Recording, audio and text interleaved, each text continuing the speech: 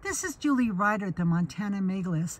I'm on the Missouri River looking over the ice and snow as the river flows.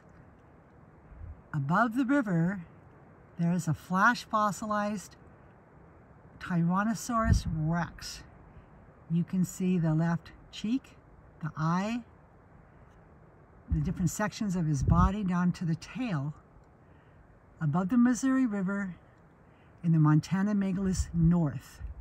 Right across this mountain is Dragon's Lair on the other side. There's a valley and then another cliff mountain above Dragon's Lair. I'm in the Montana Megaliths North.